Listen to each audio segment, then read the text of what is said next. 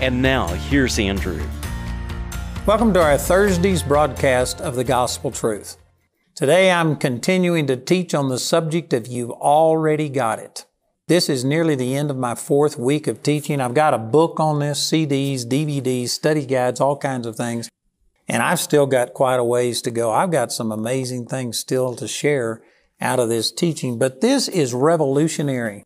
If you've missed any of this teaching, please get our product. We'll be offering that at the end of the program. But I promise you, this is not the way that most Christians think, and this is precisely the reason that most Christians are not experiencing the abundant, abundant life with all of the blessings and provisions that God's provided for us. It's because they, they think that God is responding to them the truth is, God anticipated every need we could ever have, and He's already given you everything that you need. If you're asking for healing, you've already got it. If you're asking for prosperity, you've already got it. You're already blessed. But He doesn't give you money directly. He gives you an anointing. You have to go out and put your hand unto something. If you're asking for joy and peace and all of these things, Galatians 5, 22 and 23, you've already got it. And so I've been teaching on this now, like I said, for nearly four weeks. One of the things that causes people to struggle receiving this and applying it in their life is because they are thinking that all there is to reality is just the physical world. And so they ask, say, for instance, for healing. And they say, Oh, Father, heal me. And then they check their body or they go to the doctor. And if there isn't physical evidence that they're healed, they think God has done nothing. And I'm showing that that is not true. There is, God is a spirit, John 4, 24. God moves in the spirit realm. God releases His power in the spirit. And whether you ever see it change the physical reality is not an indication of what God has done. It's an indication did He have some person to flow through. We are conduits that allow what God is doing in the spiritual world to come into this physical world. And I've given examples of where God moved and gave the answer to prayer to Daniel. And yet in one instance, Daniel chapter 9, it took three minutes for his answer to manifest. In Daniel chapter 10, it took three weeks.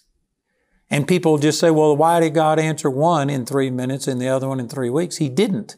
He answered both instantly, but in the ninth chapter, Daniel's uh, answer to prayer, the messenger Gabriel got through with zero hindrance, zero resistance from the devil. In the 10th chapter, the devil actually assigned a prince of Persia, a demonic power that hindered the messenger that was coming to answer Daniel's prayers for 21 days.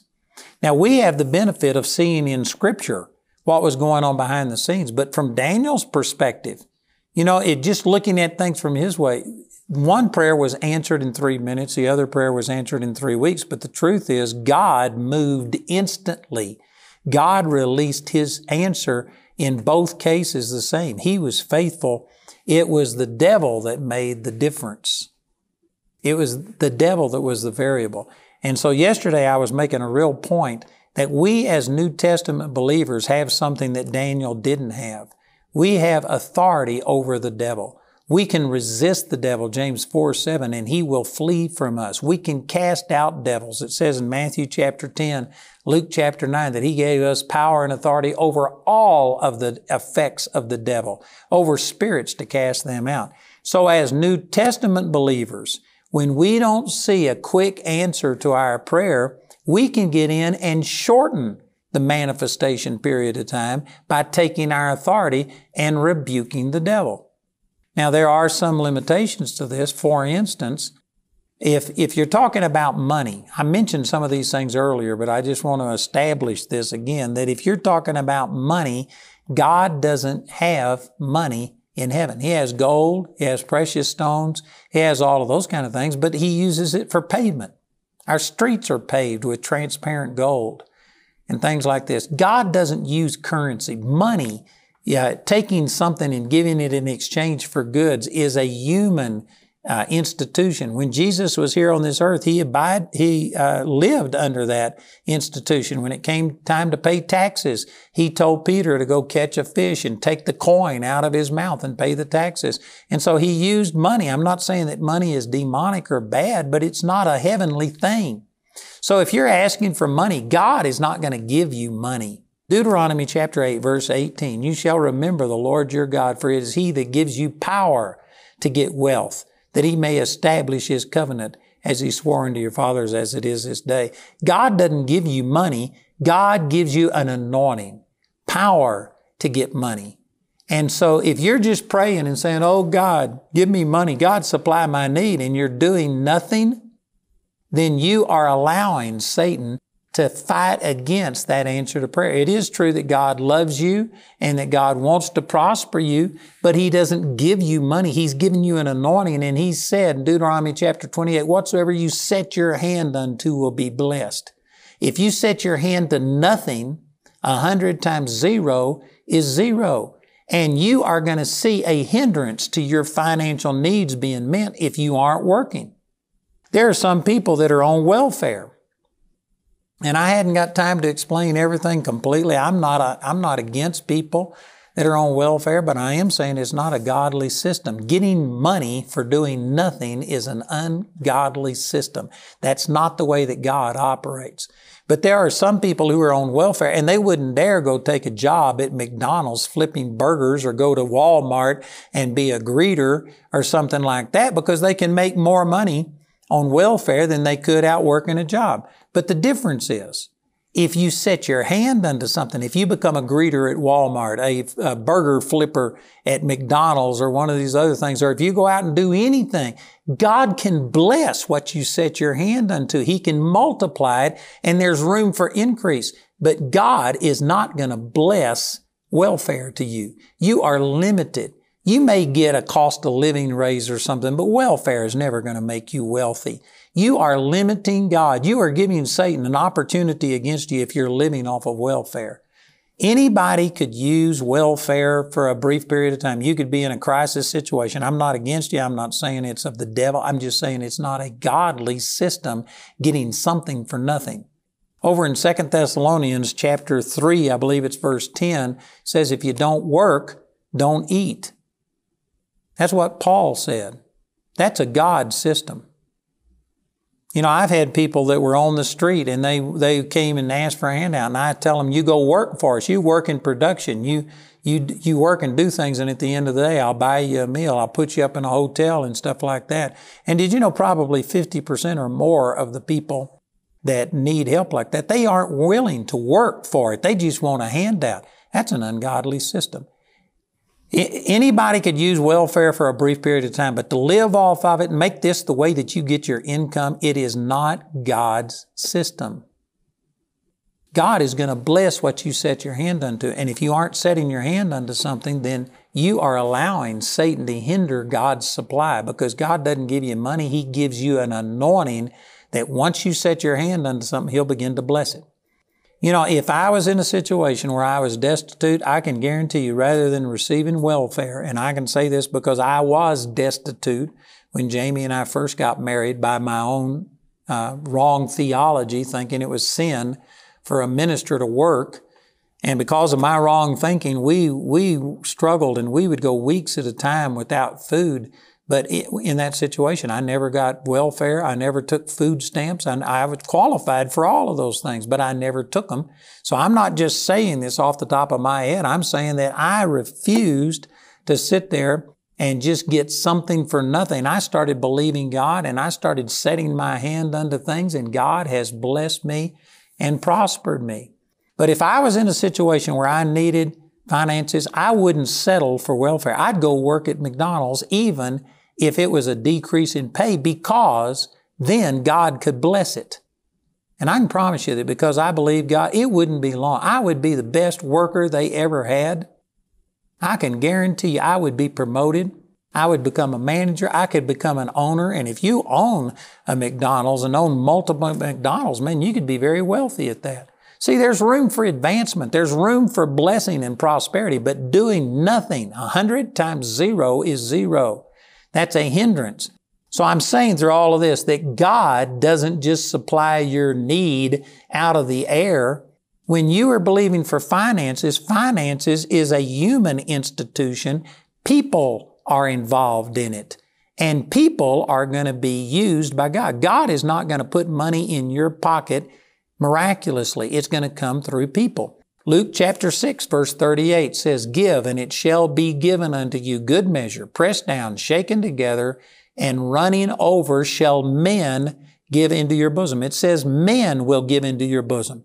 God uses people. You know, I had an instance where this is back during those days when I first got started and I thought it was sin for a minister to work.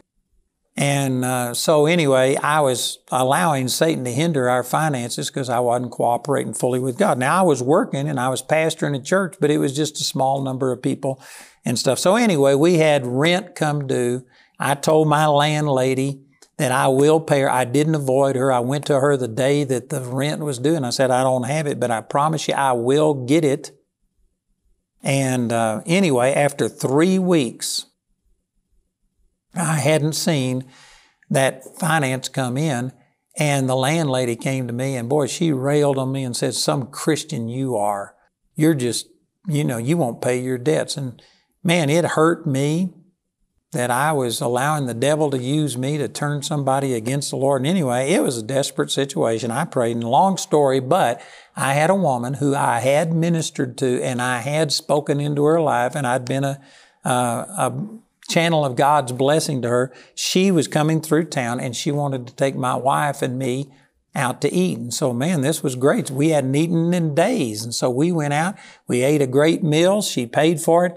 And then she handed me a check. I was believing God for $120. We had $100 worth of rent and I was believing for 120 so I could give $20 off of it as a gift.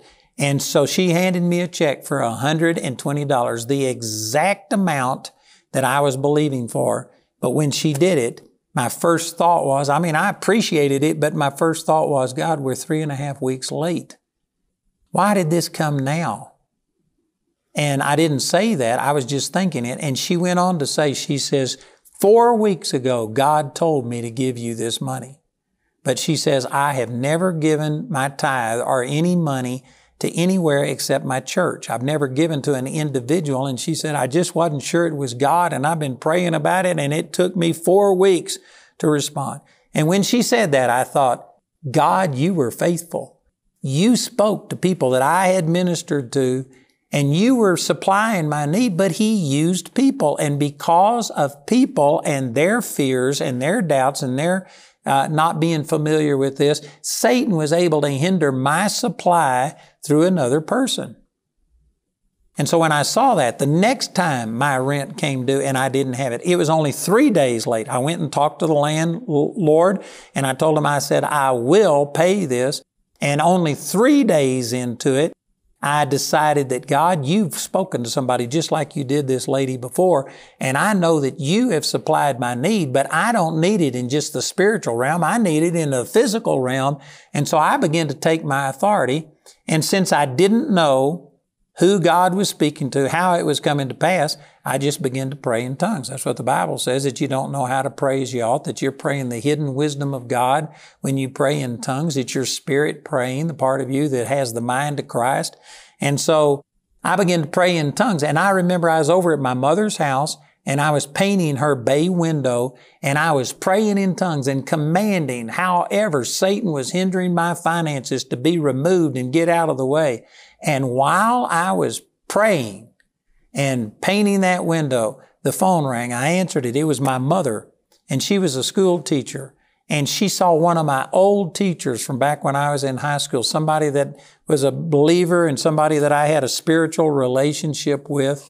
And uh, she had seen that woman that day. That lady got to asking about what I was doing. And my mother said, well, he, she, he's at my house today painting my house.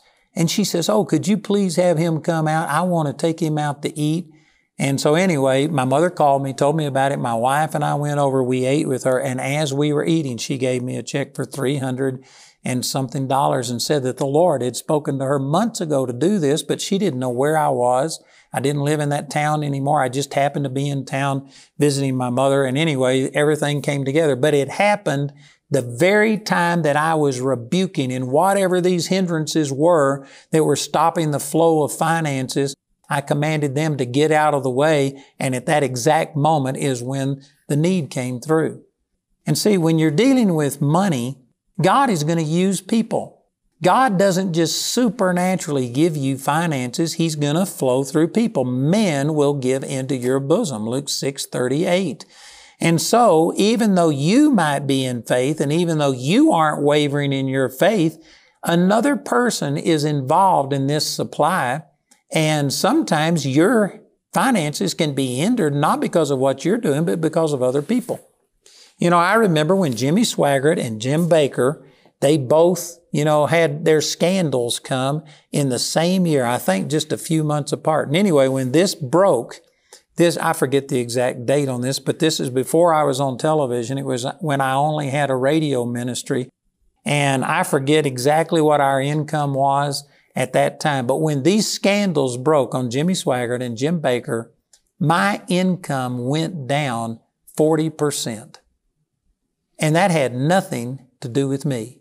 I didn't have a scandal. I didn't do something. But you know what? God uses people. And, and people were, in a sense, naive at that time. There wasn't as much Christian television and things, and so it wasn't as prominent. And there hadn't been as many scandals. And people might have been giving more grace and mercy towards media ministries back then. But when Jimmy Swaggart and Jim Bakker came out and they were exposed immediately. People's confidence and faith in media ministers was shaken and they quit giving. And my income tanked. It went down 40%, not because of what I'd done, but because of what other people had done and the way it, it, it had affected people. They lost their confidence in media ministries. And so, see, if I didn't understand that God uses people and that it's not just like He's going to give me money directly into my wallet, He's not going to counterfeit it and put it in my wallet. He uses people. If I didn't understand that, I could have got to thinking, oh God, what are you doing? Why are you, why have you decreased my income 40%? Did you know even though my income decreased 40%, my bills didn't decrease one bit? And it put us into a financial bind. And some people would just immediately think, what have I done wrong? It may not have anything to do with you. God uses people.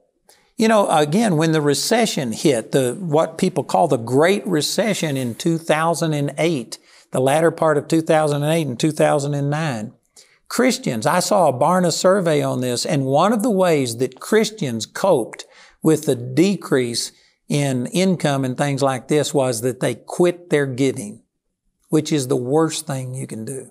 If you're in a financial bind, man, the worst thing you can do is quit giving. That is the wrong reaction. But nonetheless, there is uh, statistical information that shows Christians quit giving as much money. And so when that recession hit, did you know it affected us? Not because of anything I did, but because of what was going on in people, the fear, the things that were being spoken. And this was back in later part of 2008. And by that time, I had learned these exact principles that I was talking about, and I didn't take it personally. I didn't take it that God, why have you decreased our giving? I, I just took it as I know exactly what's happening. God supplies my needs through people. Men give into my bosom. And there are things that are happening that are shaking people, causing them to operate in fear and causing them to quit their giving. And so I just took my authority and I spoke and I began to say that, Father, I know that there's some people that are probably operating in fear and not giving, but there's others that are mature enough that they're going to keep giving. I just believe that if you have to go to new people or whatever, I speak that men are still giving into my bosom.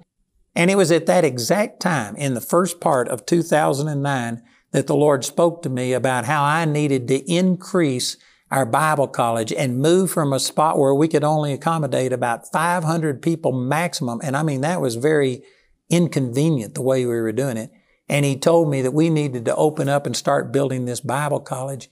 And so that was in 2009. And it took me three years to get all of the permits and everything, but we started in 2012 building buildings. And in seven years, I built $75 million worth of buildings debt free. And uh, the building that I'm in right now, we've got it on a lease purchase thing, but there is zero debt. There's zero interest involved in it and stuff. And anyway, altogether, we have $120 million worth of buildings that came since the Great Recession. And God told me to start expanding, and we nearly doubled in finances during a time that all other ministries, or nearly all other ministries that I'm aware of, they decreased because of people. God supplies our needs through people. And see, I've learned this, and I have to apply it to myself and to my ministry that God uses people. Now, I don't just go and beg people for money, but I do recognize I believe God, but then God is going to speak to people. And so I'll listen. And when God tells me, I'll send out a letter. I'll let people know what's going on and how that we need people to help us. And God uses people. So this, these are some of the things that you have to understand. God is supplying my need. He's supplying your need, but He's going to do it through people. It's not going to fall out of the sky. And if you are ignorant of this and you don't understand that God is a spirit, He moves in the spirit realm, and whether it ever comes into the physical as a reality depends on whether there's somebody that by faith can reach over there and appropriate what is already real in the spiritual world. And so, because I've understood this, see, now I do that. If you don't understand that, you will pray and you'll ask for your needs to be met. And if you don't see it, well, then you'll just say, God, why didn't you answer my prayer? God, do you love me? And you'll begin to get into doubt and Satan will just eat your lunch and pop the bag. You need to recognize that God is for you. God has already commanded a blessing upon you. God has given you power to get wealth. Not wealth directly, but power to get wealth. God wants to prosper you. Part of the atonement of the Lord Jesus, 2 Corinthians chapter 8 verse 9, it says, For you know the grace of our Lord Jesus Christ, that though he was rich, yet for your sake he became poor, that you through his poverty might be made rich. That is part of your atonement. Jesus died to make you rich. I know that's offensive to a lot of people, but it's scripture. He became poor so that you might be rich. And some people say, well, that's not talking about money. That's rich in emotions, rich in, in love and relationships. If you read it in context, every verse of 2 Corinthians chapter 8 and chapter 9 is talking about money. For you to say it's not talking about money and it's talking about emotional, mental things is taking it out of context. If you take a text away from the context, all you have left is a con. And it's wrong for people to say that Jesus did not provide for your financial benefit. But He doesn't give that money to you directly. He's just giving you an anointing and you have to understand that God has answered your prayer, but you need to cooperate and do things to bring it from the spiritual realm into the physical realm. I've got all of this teaching in a book entitled You've Already Got It. And I encourage you to get it. This will really bless you. I've got it in CDs, I've got it in DVDs, I've got study guides, and we have English and Spanish books and study guides. I promise you this would change your life. Listen to our announcer as he gives you all of this information. Please call or write and get the materials and join me again tomorrow as I continue the gospel truth.